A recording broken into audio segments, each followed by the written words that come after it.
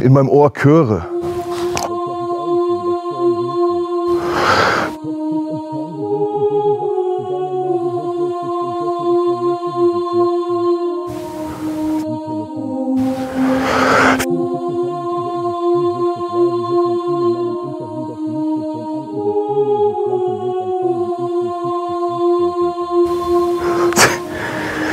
Manche behaupten, der Boss hätte eine Krankheit.